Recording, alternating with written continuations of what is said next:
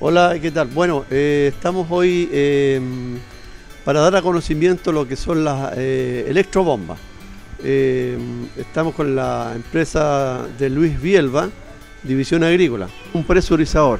Exacto. Sé que es para un califón, nosotros lo vendemos, pero tú nos podías explicar qué es lo que hace ese presurizador en un califón con poca presión. Por supuesto. Esta electrobomba tiene la particularidad que consume 120 watts por hora.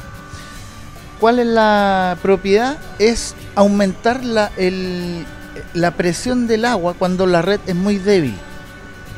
Cuando el agua que viene entrando de la red es muy débil. Entonces la bomba toma la- eh, el agua por la entrada, tiene un switch eh, automático y presuriza de aquí hacia adentro en el calefón.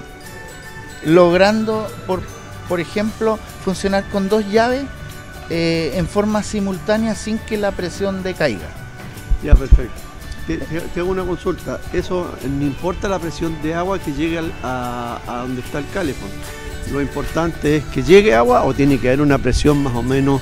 Tiene, que, Eh. lle- tiene que llegar agua eh, cuando la red es deficiente o en, la- en las mañanas sobre todo o en las tardes cuando las personas llegan desde sus trabajos. La presión decae mucho en las zonas. Entonces los calefón no, no explosan, no encienden.